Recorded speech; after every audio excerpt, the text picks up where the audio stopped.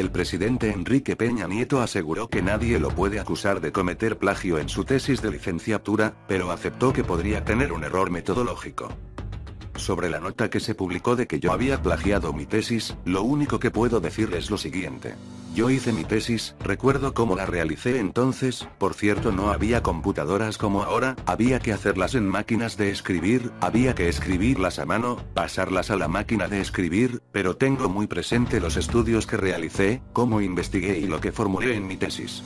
Nadie me puede decir que plagié mi tesis, dijo ante la pregunta que se le hizo a través de Facebook que pude haber mal citado o no, bien citado a alguno de los autores que consulté, es probable que sí, tendría que aceptar que es un error metodológico, pero no con el ánimo de ninguna manera de haber querido hacer mías las ideas de alguien más. Pude haber cometido un error metodológico, reconoció en la primera ocasión que se refiere al reportaje. Mi tesis hablaba precisamente de cómo se había configurado el sistema presidencial mexicano a partir de las reformas que había impulsado el entonces presidente de México, Álvaro Obregón, recordó, ¿qué me enseñó esta tesis? Que, a partir de cambios legales, a partir de reformas y modernización al marco legal, sí es posible consolidar y crear instituciones que sirvan a la sociedad mexicana, respondió.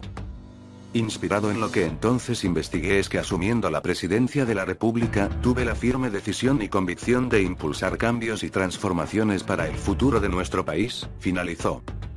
Déjanos tu comentario en la parte de abajo. Si te gustó el video deja tu like, no olvides suscribirte a nuestro canal. Es gratis. Hasta pronto,